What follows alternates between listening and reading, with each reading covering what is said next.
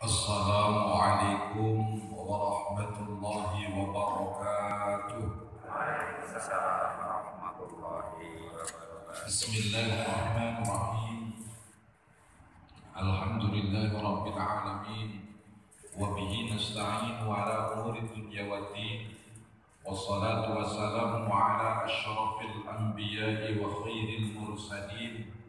وعلى آله وأصحابه ومن تبعهم إلى يوم الدين. أما بعد فقد قال الله تعالى في كتابه الكريم بعد أعوذ بالله من الشيطان الرجيم. رب اشرح لي صدري ويسر لي أمري واحلل عقدة من لساني يفقه قولي. وقال في آية أخرى ومن يعمل مثقال ذرة خيرا يره ومن يعمل مثقال ذرة شرا يره. أو كما قال في آياته. حضرة المحترمين والمحترمات بابا بابا ibu ibu semua saja yang hadir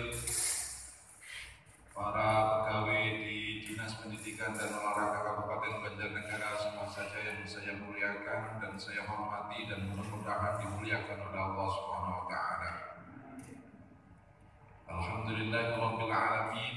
Mari yang pertama dan yang utama kita panjatkan puja dan puji syukur kehadirat Allah Subhanahu wa taala atas kenikmatan yang telah dilimpahkan kepada kita semua sehingga pada hari ini kita bisa bermuajahah bertatap muka di ruangan ini dengan harapan mudah-mudahan apa yang kita lakukan pada pagi hari ini tercatat sebagai amal soleh yang diterima oleh Allah Subhanahu wa taala. Salawat serta salam mudah-mudahan terlimpahkan kepada uswatun hasanah kita Nabi Muhammad sallallahu alaihi wasallam. Mudah-mudahan dengan selawat tadi kita semua akan tercatat sebagai umatnya yang layak untuk diberi syafaat khususnya kelak yaumul qiyamah. Allahumma amin. Hadirin hadirat yang saya muliakan. Kenapa banyak orang setelah melakukan puasa tidak ada perubahan apa pun. Hidupnya terasa biasa-biasa saja. Bahkan ketenangan dalam jiwa pun biasa-biasa saja. Artinya tidak ada perubahan baik secara sisi lahiriah dan sisi batiniah tidak ada sama sekali perubahan. Apakah berarti program puasa yang dicanangkan oleh Allah ini berarti tidak ada gunanya? Kenapa tidak ada perubahan sama sekali dalam urusan lohiriah dan batiniah? Sebelum saya menjawabnya, kita perlu menyanyikan kepada kita semua, apakah program ini yang salah, kita yang salah melakukan program ini? Mungkin sama dengan dinas pendidikan punya program kepada sekolah dasar, SMP atau SMA. Program ini sangat baik, tapi kenyataannya sama saja hasilnya. Ini programnya yang tidak ada gunanya, apa yang melaksanakan program ini yang kurang benar. Ini persis, pertanyaan ini persis kita harus sampaikan kepada diri kita sendiri. Apakah program Allah yang salah? Apa kita yang melaksanakan sebagai umatnya yang tidak benar?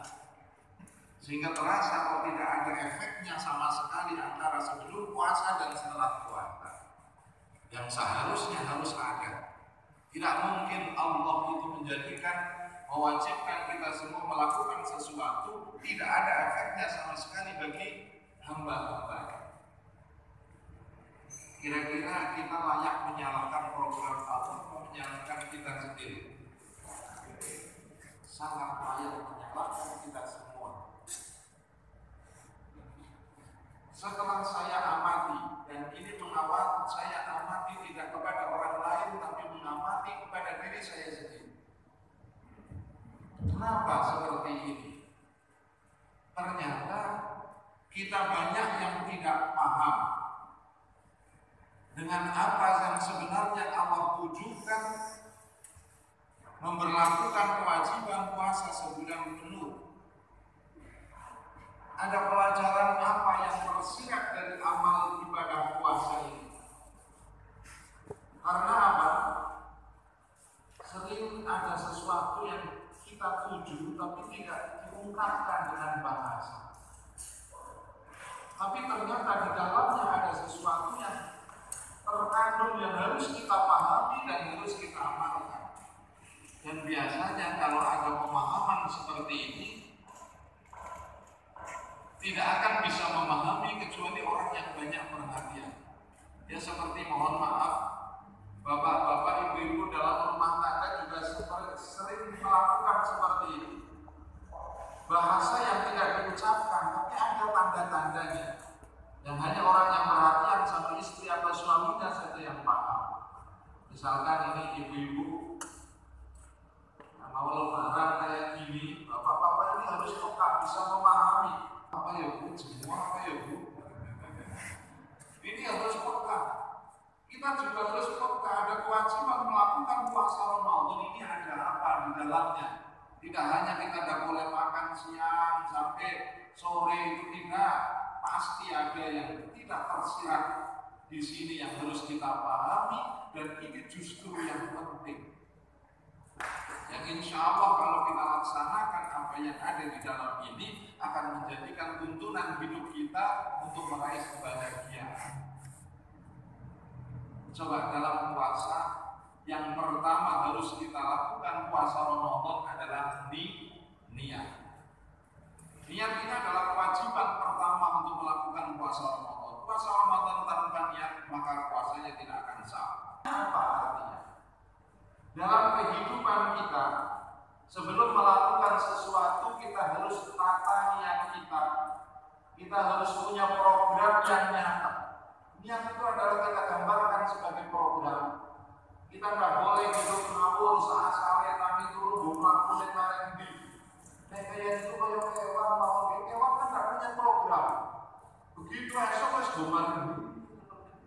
Kita manusia harus punya program dalam hidup. Apa yang mau jenengan laksanakan. Paling tidak malam kita sudah punya program. Oh besok saya bangun pagi, jamaah, habis jamaah subuh mandi, siap-siap berangkat kantor karena ini saya jaraknya sekian sampai ini harus ada program di kantor walaupun kita memang hanya bisa merencanakan nanti hasilnya yang menentukan adalah Allah Subhanahu wa taala. Tapi paling tidak kita punya program. Ya, seperti anak-anak yang masih uh, sekolah ini. Misalkan bapak-bapak di kantor nanti saya mau pulang sambil beli kolek untuk ibu sebulannya malah kolek tiris naik foto karena ini sore misalkan karena terakhiran tutupan ini sore kolek disuntek bapak sudah dapat pahala sodat kolek dengan ibunya walaupun koleknya tidak ada inilah untungnya kalau kita punya progres yang baik. Itu pelajaran yang pertama. Pelajaran yang kedua yang namanya puasa itu adalah menahan sesuatu yang membatalkan dari mulai terbitnya fajar sampai tenggelamnya mata. Apa dibalik ini? Ada pelajaran apa yang diberikan oleh Allah kepada kita? Yaitu tentang kedisiplinan. Apa ayat ini bu? Sambil mengepalkan tangan, membaca ayat Allah Ta'ala fi kitabihil karim 'ala nisa artinya bahwa laki-laki adalah pemimpinnya perempuan. Artinya kalau di rumah kepalanya adalah bapak. Maka ibu harus nurut sama bapak. Kalau tidak nurut neraka tempatnya. Waduh bapak-bapak yang di mana Bapak sudah pas menjadi disiplin menjadi bapak atau belum? Oke. Saya itu di Arab itu lima tahun Pak. Di pasar yang belanja sayuran, belanja bumbu itu bapak-bapak. Ibu-ibu tidak ada yang belanja Yang belanja itu bapak-bapak. Ibu-ibu belanja paling ke mall kalau mau beli baju, beli kodok, beli apa kayak gitu. Ya Rasulullah apakah tidak pernah sholat? Enggak. Apa tidak pernah puasa? Enggak. Likufrihinna li azwajihinna. Karena dia tidak pernah merasa berterima kasih kepada suaminya. Ini banyak. Karena itu sudah bakatnya perempuan. Kita berbuat baik selama satu tahun penuh. Jadi bapak-bapak sudah berbuat kebaikan kepada istri selama terus setahun. Itu digambarkan oleh Nabi. Itu selama satu tahun. Satu kali kita melakukan kesalahan. Kebaikan yang kita lakukan selama satu tahun ini. Dia bilang, oh dasar suami tidak pernah bikin baik sama sekali. Itu padahal baru satu kali kesalahan. Yang setahun itu ingat. Dan bapak-bapak harus tahu ingat kalau tak berbuat. Jangan kita salah. Karena sejak zaman Nabi pun sudah diprediksi. Maka beruntunglah perempuan yang selalu bisa bersyukur kepada suami. Artinya berterima kasih kepada suami. Oke, maka ini kalau kita terapkan secara disiplin syariat agama Islam, apalagi sering suami membawa dalil-dalil pemimpin dalam rumah tangga, ini makin repot semua. Maka udahlah kita disiplin ala Jawa saja. Suami juga harus jangan anggap istri adalah sebagai pembantu. Ini biar pas pacaran pak keringan bukan jenengan oh adalah belahan jiwaku. belahan jiwa pacar ini nek ditampung ya melu lara. Bojo bulan ini tampung ini diomai atau diwe duit. Mungkin yang memang belahan jiwanya yang sana jiwanya kering juga kita merasakan harus merasa kering seperti itu. Makanya itu kedisiplinan harus kita terapkan. Pelajaran yang ketiga dalam puasa kita. Pelajaran ketiga dalam puasa adalah tentang kesabaran. Di mana sih pelajaran tentang kesabaran? Kita tidak mungkin bisa selesai melaksanakan puasa sampai sore kalau kita tidak sabar. Apalagi kayak bapak-bapak yang bicara tadi. Dan kalau tidak sabar,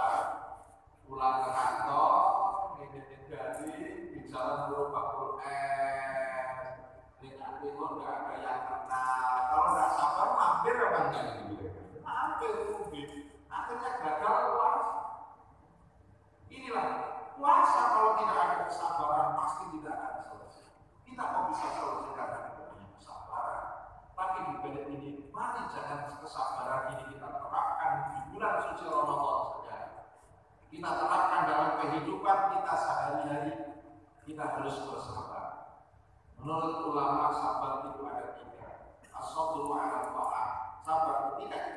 melaksanakan perintah Allah. kita harus sabar. Kita memang ada merasa berat untuk melakukan beberapa pekerjaan yang harus kita lakukan. Contoh kecil yang banyak adalah kita lagi capek, tidur, lagi enak-enakan. Dua, sabar kepada maksiat. Masya Allah. Zaman kita kecil, bapak-bapak yang umurnya sama dengan saya yang atasnya. Gangguan, gangguan maksiat itu sangat minim sangat minim. Paling zaman dulu gangguannya maksiat itu apa tuh? Ya Allah, kita semakin kalau tidak sabar pada maksiat kita pasti akan terjerumus karena sekarang semakin mudah, bahkan semakin murah biaya. Ya Allah, Alhamdulillah min. Yang ketiga adalah asobru ada musibah, sabar ketika kita ditimpa musibah. Ini yang banyak orang pemahamannya sabar hanya ini, padahal ada tiga. Dan tapi ini yang terpenting sabar ketika kita terkena musibah. Karena walaupun kita tidak sabar musibah akan datang kepada kita. Karena musibah adalah salah satu ketentuan yang diberikan oleh Allah Subhanahu wa tapi dengan kita bersabar insya Allah musibah yang kita kita dapatkan dari Allah akan menjadi nilai ibadah dan itu tentang kesabaran. Nanti kita harus bisa membahagiakan minimal kepada dua orang. Agar apa? ketika kita meninggal nanti dua orang ini yang siap menjadi saksi di hadapan Allah bahwa kalian adalah orang baik. Karena ini penting. Karena kami ketika ada jenazah lewat beliau mengatakan kalau jenazah ini ada 10 orang yang menyaksikan bahwa ini ada orang baik, maka Allah akan menulis bahwa orang ini adalah orang baik. Wah, sahabat akhirnya ada yang bertanya, kalau cuma 8 gimana? 8 juga masih dianggap baik. Kalau 6 gimana? Terus akhirnya sampai 2. Sahabat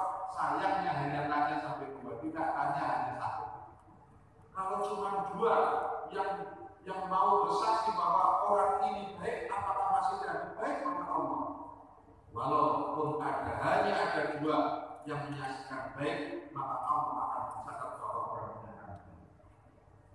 Maka bagaimana kita caranya membuat tetangga kita, saudara kita mau bersaksi yang betul-betul bersaksi loh Pak, bukan saksi asal saksi. Kalau Indonesia itu mau diberangkatkan itu saya yakin banyak yang asal asal keluar suara. Jenazah ini orang baik, ya baik. Jenazah ini baik, ya baik. Asal sombong baik, ya. baik. Oh, gimana? Kayak itu banyak di belakang kan.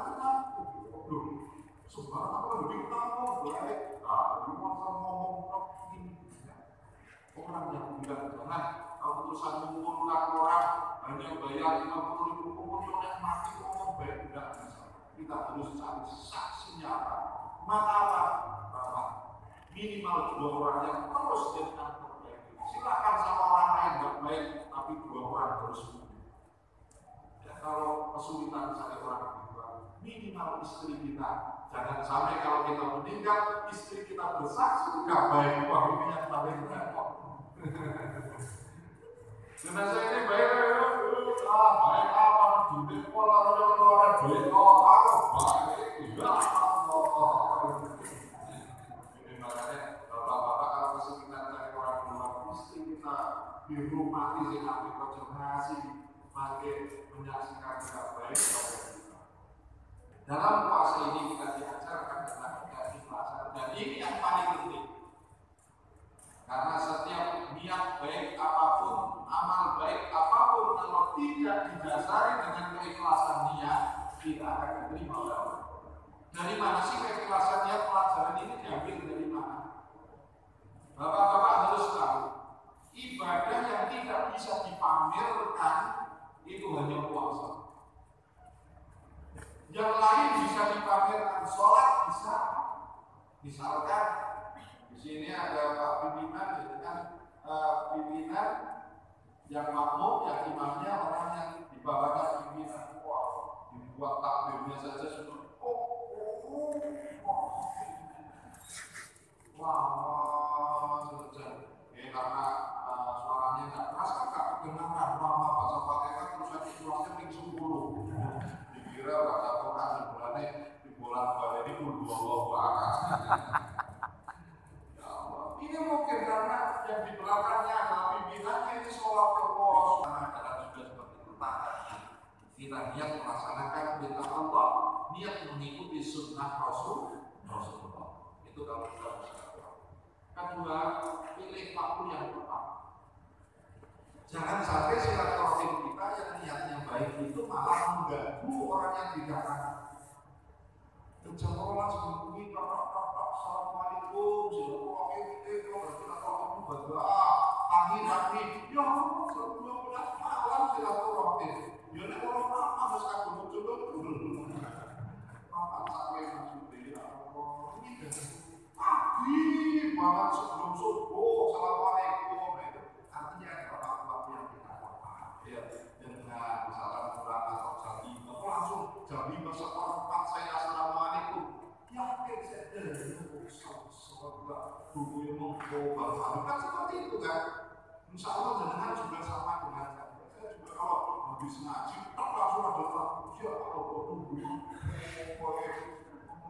Baik kesel-kesel ini itu sama akhirnya kalau apalagi sekarang dengan ada ini kalau yang mau dikatakan kok punya motornya jadi aduh saya mau silaturahim eh, saya kapan ya katanya enaknya ya ya ini tuh malah enak kejadian seperti itu jadi pak ya yang kedua yang ketiga adalah ucapkan salam ketika masuk karena ini adalah pekerjaan sunat tapi pahalanya lebih besar dari pekerjaan fardu karena biasanya fardu sama sunat itu banyak banyak fardu tapi mengucapkan salam ini pahalanya lebih banyak daripada yang menjawab. Maka yang menjawab wajib yang mengucapkan adalah sunat.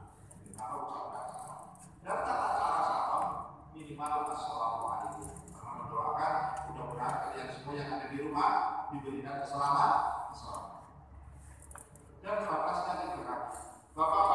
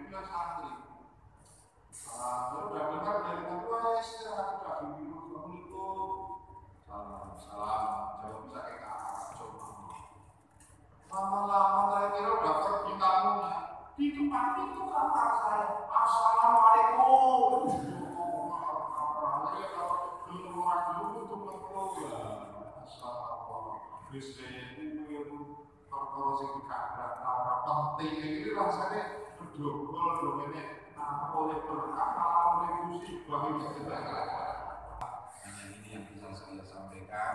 Dan apabila yang saya sampaikan ada kesalahan, kekeliruan atau bahkan menyakiti bapak-bapak ibu-ibu saya betul-betul minta maaf yang sebesar-besarnya. Dan kita saling mendoakan mudah-mudahan kita bisa menyelesaikan Ramadan dengan baik. Dan setelah Ramadan kita ada peningkatan walaupun sedikit dalam kebaikan Allahumma amin. Sekian salat